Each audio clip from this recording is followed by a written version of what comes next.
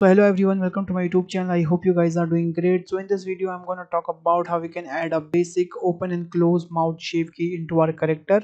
So without any further delay now let's get started tutorial. So before starting the tutorial guys i just want to tell you i have already uploaded two parts of this character part one we just talk about how we can model a basic head. And part two we just talk about how we can add the color into our different parts like hair eyes and mouths. So if you haven't watched that video yet so make sure you watch these tutorial first then come here and now let's start the tutorial. So alright guys here you can see we have a perfect cartoon head here. Now we'll just talk about how we can add a shape key into our mouth. So for adding the shape key you have to just go to your object data properties. And here you will see the section it's called shape key. So first of all you have to just click this plus icon. And when you uh, click a plus icon you will get a basis shape key which is hold a basic shape of your character. But we don't need to change anything in this part because we have to create another key. So for that again i will click this plus icon now here you can see we have a, a new key and now we have a lots of option as well. So now what do you have to do? First of all we have to just give this uh, shape key name as a open and close open and close basically okay?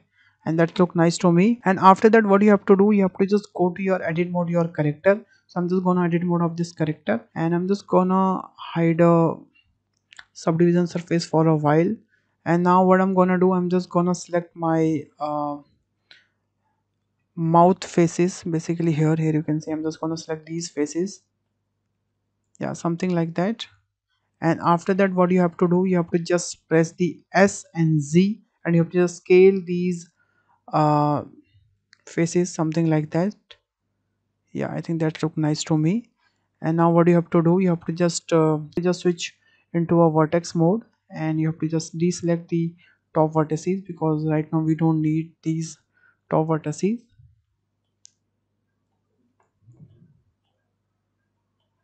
And make sure to deselect all the vertices from the top part.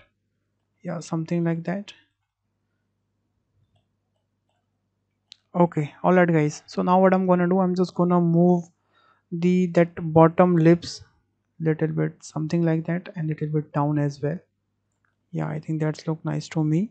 Okay and now i'm just going to enable my subdivision surface modifier so we can easily see what's going on here. So i think i'm just gonna do a little bit upside something like that.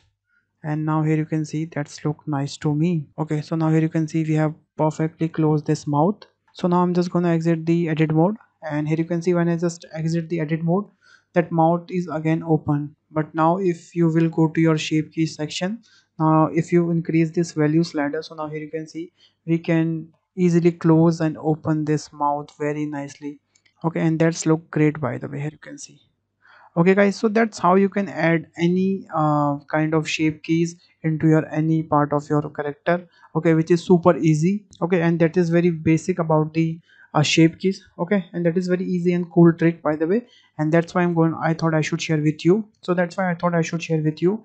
So here we go guys. Here you can see. Now you learned how you can create a basic open and close mouth shape key into a blender yeah guys. So in the next part we'll just talk about how we can add the light into our scene and how we can uh, represent and how we can render our models. So make sure you watch the next part as well. So if you enjoy this part and if you learn something new today so make sure guys you hit the and thanks for watching this video guys. If you learned something in this video please hit the like button the share button and subscribe my channel. Also if you have any queries if you have any suggestion please let me know in the comment box. I will definitely reply comment. So bye bye take care and stay home guys